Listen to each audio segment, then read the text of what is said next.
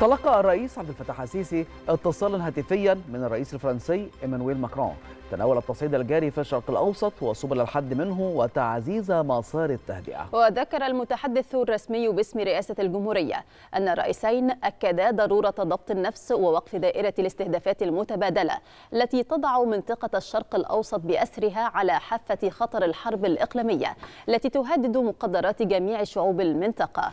في ذلك الإطار استعرض الرئيسان الجهود الجارية لوقف إطلاق النار في غزة ولبنان وإنفاذ المساعدات الإنسانية بصورة عاجلة وبكميات كافية.